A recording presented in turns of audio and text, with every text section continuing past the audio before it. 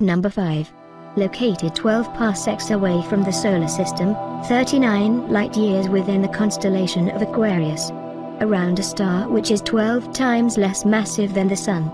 And only slightly larger than Jupiter. It would take 39 years to get to its current location. Traveling at the speed of light.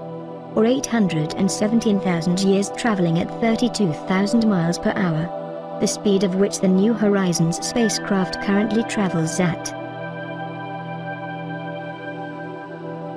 Number 4. The planets rotate closer to their parent star than Mercury does to our own star. All seven of the TRAPPIST-1 planetary orbits are closer to their host star than Mercury is to our Sun. The planets also are very close to each other, if a person was standing on one of the planet's surface, they could gaze up and potentially see geological features or clouds of neighboring worlds, which would sometimes appear larger than the moon in Earth's sky, NASA said. The planets may also be tidally locked to their star, which means the same side of the planet is always facing the star, therefore each side is either perpetual day or night.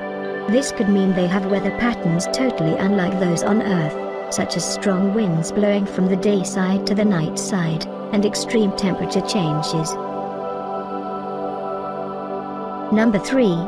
TRAPPIST-1b and C may have lost as much as 15 Earth oceans of water, although the actual loss would probably be lower, depending on their initial water contents.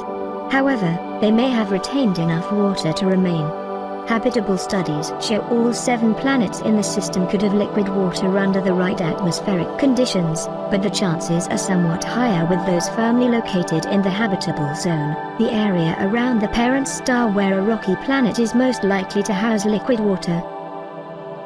Number 2. Scientists say that if there is life there, we could know within a single decade. Number 1. TRAPPIST-1 is nothing like the Sun. It is classified as an ultra-cool dwarf, because it is so cool that liquid water could survive on planets orbiting very close to it, closer than is possible on planets in our solar system. The star has a temperature of 2550 K and is at least 500 million years old. It has the ability to live for up to 4 to 5 trillion years.